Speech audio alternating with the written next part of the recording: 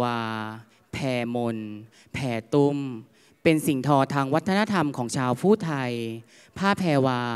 เป็นผ้าที่ใช้ห่มไปในงานสำคัญ อาทิเช่น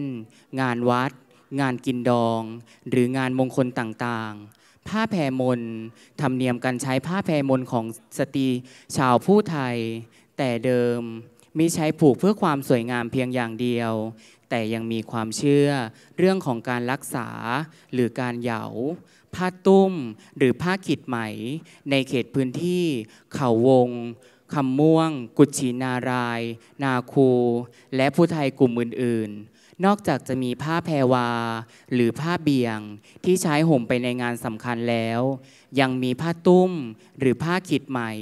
ที่ใช้ในพิธีกรรมอาวะมงคล หรืองานศพ ประดับตกแต่งลงศพ อันเป็นความเชื่อ ความศรัทธา ขนบธรรมเนียมประเพณีที่สืบทอดกันมา จากอดีตจนถึงปัจจุบัน จากข้อมูลข้างต้น ผู้สร้างสรรค์ผลงาน ต้องการนำเสนอถึงวิถีชีวิตของชาวผู้ไทย ลายผ้า ความเชื่อของผ้า และการเบี่ยงผ้าทั้งสามแพรว่ามีความเป็นมาอย่างไร ผ่านการถ่ายทอดทางด้านนาฏศิลป์พื้นบ้านสร้างสรรค์ชุดสามแพรภูไทย โดยนำเสนอดังนี้ ช่วงที่หนึ่งสื่อให้เห็นถึงวิถีชีวิตของชาวผู้ไทย ลายผ้า และการเบี่ยงผ้าของชาวผู้ไทย ช่วงที่สองสื่อให้เห็นถึงการรักษาหรือการเหยาของชาวผู้ไทย ช่วงที่สามสื่อให้เห็นของการใช้ผ้าขิดไหมหรือผ้าตุ้มของบรรพบุรุษที่ถึงแก่กรรม เพื่อไว้อะไรเป็นครั้งสุดท้าย เชิญรับชมได้แล้วค่ะ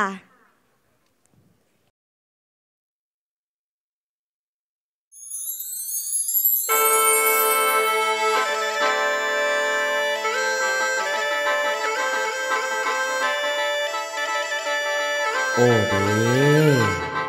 เพื่อว่าเมืองเบิ่งพี่จุไทยสิบสองเศร้าเง่าเง่าเหนือซับลายหม่มีว่างพ้องแต่ดำแพ่งหักษาซืบลำวัฒนธรรมตั้งแต่เก้า แม้นวิถีทิ่นเฮาเผ่าผู้ไทยแพร่เพิง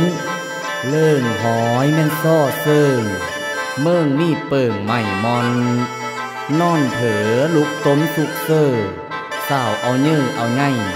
มาปันปอยเซอร์ไหว อักไม่น้อยมิเฮ่อหองไล่ตามลองแฮมเซอร์พะเลื่นยื้อแล้วพุเซอร์มาเป็นลุกเพอเยื่อมาเป็นลุกเพอเยื่อพะเลื่อเนื้อเพอผู้แพ้เดน้อง